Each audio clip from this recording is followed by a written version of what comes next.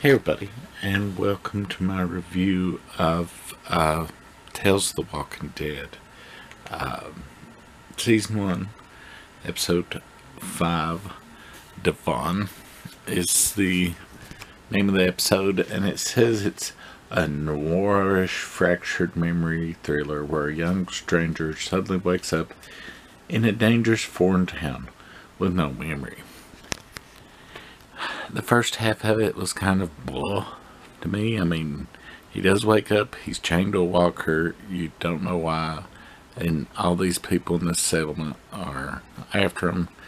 Um, and little bits and pieces of his memory surf- resurfaced him throughout, and it, it kind of picks up steam around midway point and actually gets decent. I mean, None of these have been outstanding. Besides maybe the Dee. Uh, the Dee wasn't outstanding, but it was close. This one's not outstanding, but it does get much better halfway through, which is kind of a bad thing because if you're watching on TV and you're not prone to sticking with things all the way through, you might cut it off if you're even giving this show a chance.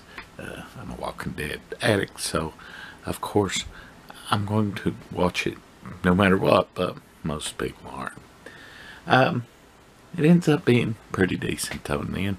Don't want to give any more away than that in case you want to watch it yourself. Anyways, we'll see y'all tomorrow. We'll see y'all tomorrow. We'll see you all the next one of these. Well, the last one of these. Because it's only six episode series. Uh, next week. Bye.